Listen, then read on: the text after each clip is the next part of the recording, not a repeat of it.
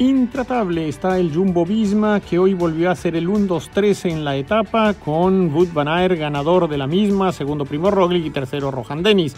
Colocándose así en la general también en los tres primeros lugares del podio con Van Aert, Roglic y Christophe Laporte. Cuarto es Simon Yates del Bike Exchange, que es el único que puede hacer sombra al monopolio que está ejerciendo en este momento el Jumbo Visma.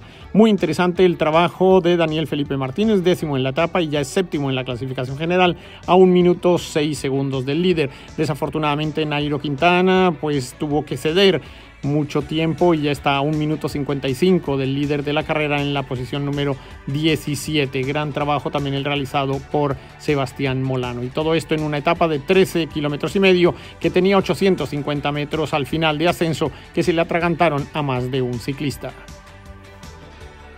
En la llegada a Termi venció el australiano del Loto Saudal Caleb Iwan por delante de Arnaud de Mar que estuvo acariciando el triunfo en este sprint.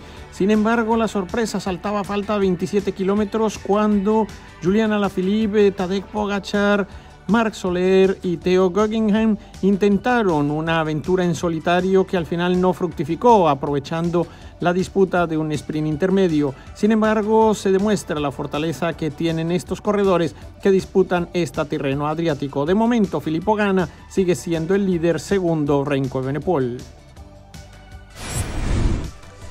Para mañana tendremos otra gran etapa en la París-Niza con la llegada a Sonsagur de Montagut, 188 kilómetros, 5 pasos montañosos, algunos de ellos de primera categoría y muy exigente. De la misma manera que habrá una maravillosa etapa en la Tirreno Adriático con la llegada a Bellante en ascenso sobre 202 kilómetros y comenzará con un prólogo de kilómetro y medio, el trofeo de la primavera de Istria en Croacia, una de las carreras más tradicionales de esta zona de Europa.